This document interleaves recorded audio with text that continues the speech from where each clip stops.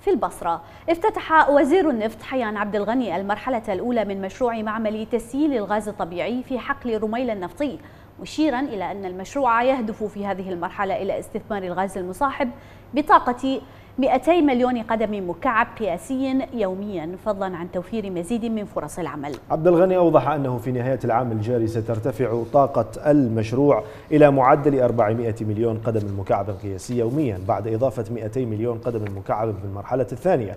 لافتا إلى أن المشروع يقوم بتجهيز شبكة توليد الكهرباء الوطنية بمعدل 320 مليون قدم مكعب قياسي من الغاز الجاف لتسهم في توليد 1900 ميجاوات. فيما أكد وزير النفط أن مشروع معمل تسييل الغاز الطبيعي في حقل الرمال النفطي سينتج 2150 طنا من غاز الطبخ يوميا.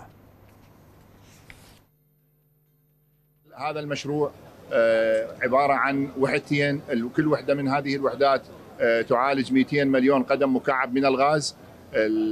هذه الكمية من الغاز سوف يتم الاستفادة منها واستثمارها استثمار أمثل من خلال إنتاج الغاز الجاف الذي يذهب إلى محطات إلى لتشغيل محطات الطاقة الكهربائية وإنتاج LPG أو الغاز السائل بطاقة تزيد على الألف طن يوميا من هذه الوحدة فقط. وكذلك إنتاج المكثفات اللي هي عبارة عن سوائل خفيفة تدخل في كثير من الصناعات التحويلية كصناعة الأصباغ وغيرها بطاقة 5900 برميل يوميا. هذه هذا اليوم نحن في 31 5 دشنا واستطعنا من افتتاح المرحلة الأولى.